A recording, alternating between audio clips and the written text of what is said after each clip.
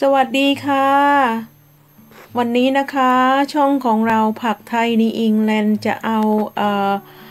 ถาดนะคะถาดเเพาะเมล็ดผักค่ะ ที่เราใช้ในสวนมาแชร์ให้เพื่อนๆได้เห็นกันนะคะ ว่าถาดชนิดนี้นะคะเหมาะมากเลยนะคะสำหรับเพาะเมล็ด จะช่วยให้เมล็ดนะคะงอกง่าย เพราะว่า มันเป็นถาดที่แบบเพาะเมล็ดโดยเฉพาะเลยนะคะความลึกของถาดนะคะก็ประมาณ 2 นิ้วค่ะ ความกว้างความยาวก็10 14 นิ้วนะคะเเราซื้อมาจากห้างใกล้ ๆ บ้านค่ะ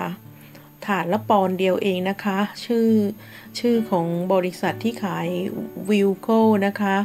คือเราเรียกกันวิวคุณสันนี่เองนะคะที่ประเทศอังกฤษ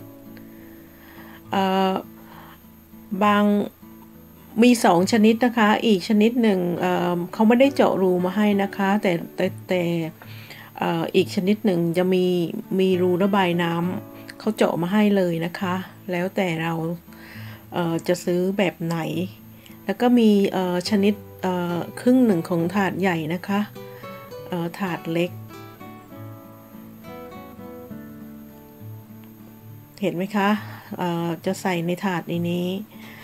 ถาดถาดนี้นะคะจะเพาะได้เป็นร้อยร้อยต้นเลยนะคะ สังเกตดูเห็นไหมคะ ในถาดมเมล็ดที่เราเพาะขึ้นทุกเม็ดเลยนะคะ ช่วงนี้เรายังไม่ได้แยกเลยค่ะ ช่วงนี้นะคะ หากเพื่อนๆปลูกพริกปลูกมะเขือก็ยังมีเวลาที่เพาะอยู่นะคะเเรายัง เพาะไปเรื่อยๆนะคะ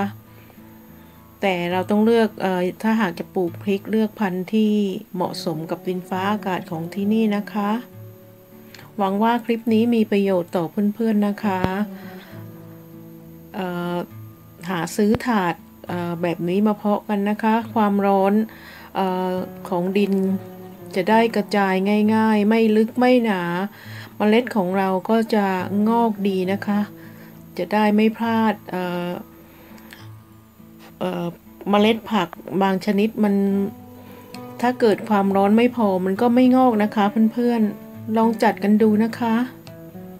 ขอบคุณค่ะ